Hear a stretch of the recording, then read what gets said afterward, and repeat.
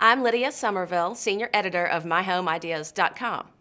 You can make this fun paper garland out of old Christmas cards or decorative paper. Just cut circles of varying sizes and line them up in a row spaced about 6 to 8 inches apart. Lay a strand of metallic cord over them and affix it to the back of each circle with a sticker.